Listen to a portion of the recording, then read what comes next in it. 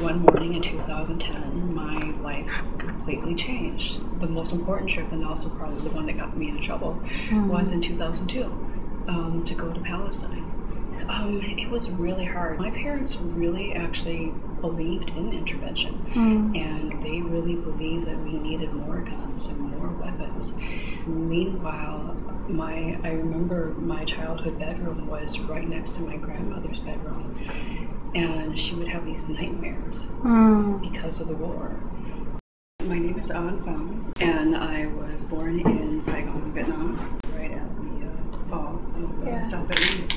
And I guess I would mostly identify as um, Vietnamese American and uh, activist, immigrant, uh, feminist uh, when the U.S. war in Vietnam Mhm. ended literally one morning in April. We were told at 10 in the morning that you had a few hours to get out of the boat at 1 in the afternoon. And to make a long story short, um, most of us got on the boat. The Lutherans in Minnesota were being told to sponsor these Vietnamese people. So we were told that we could go to um, the state called Minnesota, which we'd never heard of before, or we could wait indefinitely spot in California. So we chose Minnesota. At home, we never talked about the war.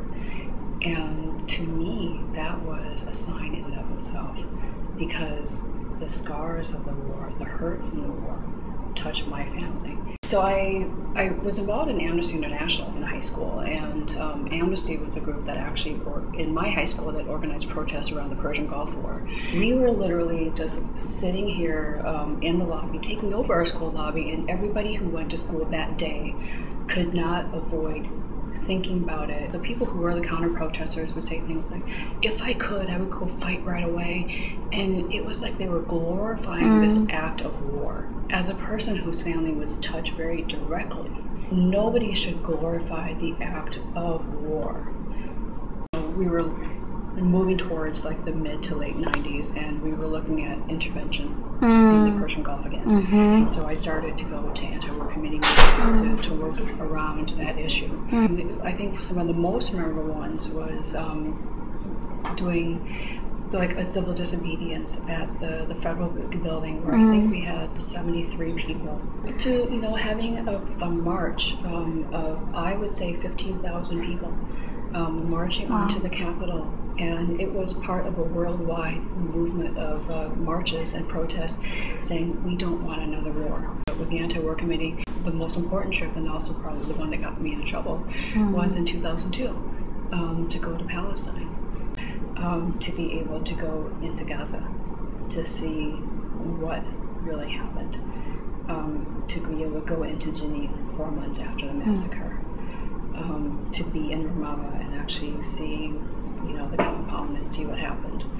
Um, you know, like, and, and then shortly afterwards, um, to see the devastation of September 11th in New York City and to see that, um, that's Gaza every day.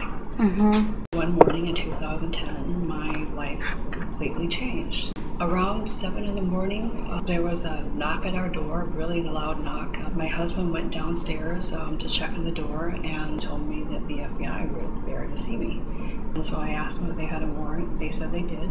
Literally searched through everything, under underwear drawers, looking through photo albums, books, and nothing was left untouched. And the creepy thing, they knew the layout of our place, so it was very clear that somebody had been in my house before and had told them what to look for. But in terms of um, the process since then, overwhelmingly people stepped up and stood with me and with us. Yeah. And I am convinced that so many of us would be here today, literally prepared to have to spend some time in a jail cell for not testifying Mm. because there was no way I was going to give them any information because there was no information. Mhm. But that trip is one of the most important things I've ever done in my life, and I don't regret it for a minute. All of this ugliness is happening, you know, with what's happening with um, Rasmea, with what's happening in Gaza. Um, to still see the laughter and the spirit of the people in Palestine. That's why we have to keep working. When I've met Vietnamese people from Vietnam, and there's like, we knew that in the belly of the beast, we have sisters and brothers as well. Mm. And um, and that means a lot to me that that internationally all around the world we are a sisterhood we are a brotherhood of people who are standing for human rights